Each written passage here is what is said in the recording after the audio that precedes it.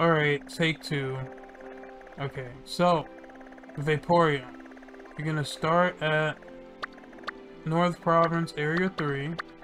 You're gonna work your way all the way down here. You just keep going straight, you can't miss it. And you will see a big pool right here with a Vaporeon.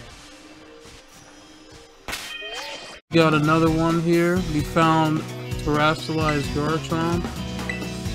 I had no idea this thing was here, and also there's a golden key here as well for you to get. Of course, I didn't kill Garchomp because I don't want it. But, I will be showing you exactly where he is now. So, on your map, there's a Ditto near me. So you're gonna go to this city right here. Cascafara. These names are weird. Cascafara. So... Sca oh, Cascarafa. Cascarafa City. North. And then you're gonna go to the left. Just go all the way left until you see this this little like circle thing.